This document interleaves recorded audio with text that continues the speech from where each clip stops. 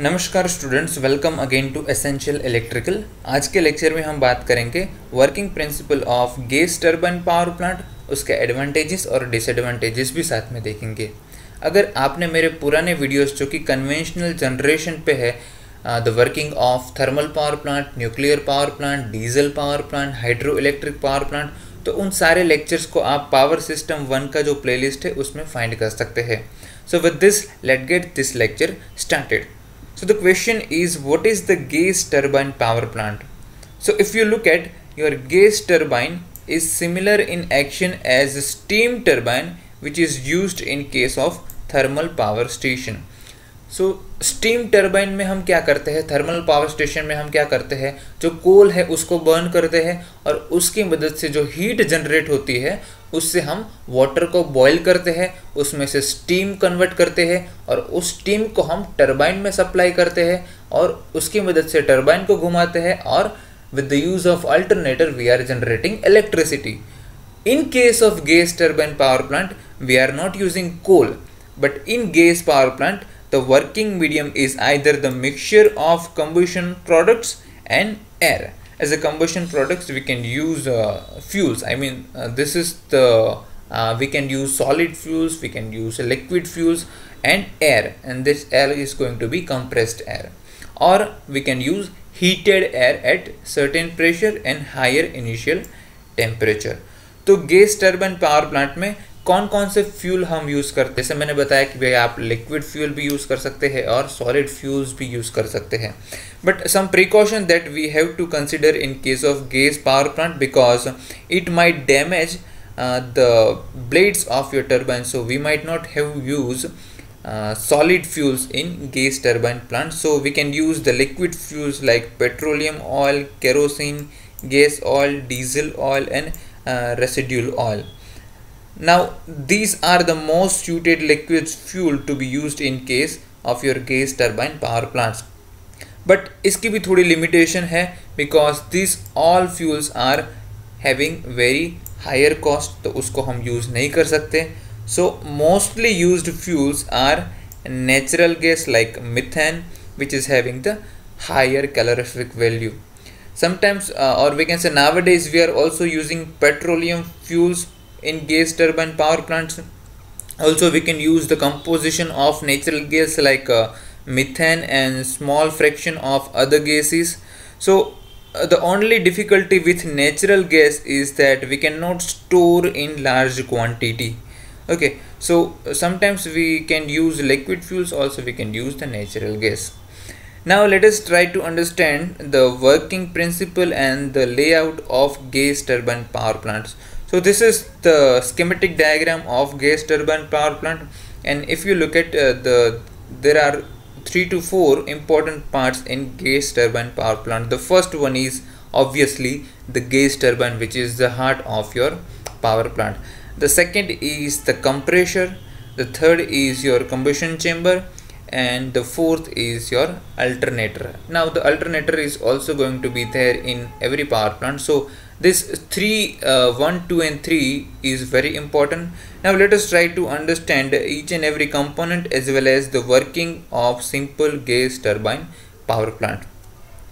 So initially the motor is uh, started which rotate this compressor. And this is going to be done before your starting of your turbine. Once the turbine is started in that case afterwards this compressor is going to be coupled with your gas turbine. So we not need to couple your compressor with external motor.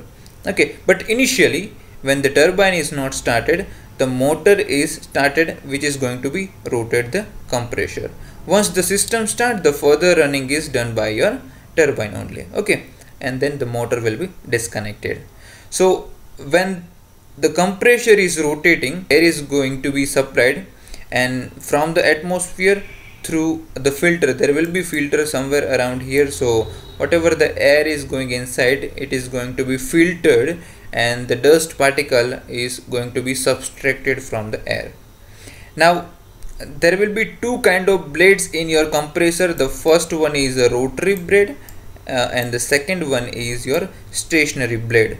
Air is going to be pressurized and uh, it is going to be raised up to 4 to 5 times the what we can say the pressure of atmosphere. Now this air is going to be supplied to your combustion chamber. And at the same time the fuel is also going to be uh, supplied at the combustion chamber right here. So the combustion is going to be take place in case of your combustion chamber by uh, by which your fuel is going to burn at high pressure steam of air which is supplied by your compressor okay. Now whatever the high pressure and the high temperature gases uh, pass through this turbine and this is going to be expand and it start rotating. So whatever the high pressure and high temperature your gas is there is going to be supplied to the turbine and it will going to rotate your turbine. Okay. Now your turbine is going to be coupled with alternator. So if the rotor of uh, your alternator is rotating by means of the turbine and the electricity will be produced. Now some part of your gas i mean initially from here the temperature and pressure of gas is very high. But at this end the low pressure and low temperature of gas is exhausted and it is going to be uh, i mean exhausted from turbine to the atmosphere okay so this is the basic or we can say simple function or working of gas turbine power plant. One thing that you have to remember in this case is a portion of mechanical energy is sent to your compressor so the output is lesser and efficiency of this plant is much less as compared to your nuclear power plant or the steam turbine power plant because initially this compressor is uh, driven by motor. Afterward it is going to be driven by your gas turbine. So some part of your output is useful to drive your compressor. That is why the efficiency is reduced. Okay and output power is also reduced. That is why your efficiency is going to be reduced.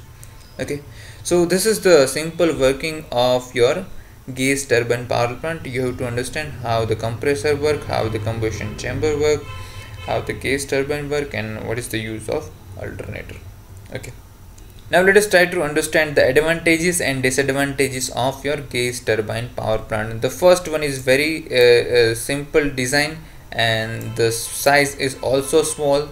Uh, the space requirement is also less and that is why we can say the cost is going to be lesser than other power plants. The combustion chamber can be designed to use any types of fuels even solid fuels uh, we can also use but as I told you uh, due to the blades of the turbine we are not supposed to damage that. So uh, it is uh, beneficial for us to use liquid fuels rather than going for solid fuels. It uh, no need to take the warm up time in case of gas turbine power plant where in case of your steam turbine power plant it will take some time. Okay. Uh, the disadvantages of gas turbine power plant is due to dirt dust deposition on compressor blade efficiency reduce. Okay so the what we can say efficiency in case of gas turbine power plant can be reduced. Due to the corrosion of turbine blades the maintenance is also more. So there are so many disadvantages also but uh, let me just uh, mention few of them also because we cannot use gas turbine power plant as your uh, base load power plant. Okay. So uh, these are some of the advantages and disadvantages of gas turbine power plant. Uh, let me just give you some of the applications of gas turbine plant is that uh, we can use in peak loads okay while your steam power plant and hydro power plant can be used as a base load. It is also can be used in case of standby power plants so as a starting plant for driving auxiliaries in other plants in like thermal power plant and nuclear power plant in hydroelectric power plant we can use gas turbine power plant.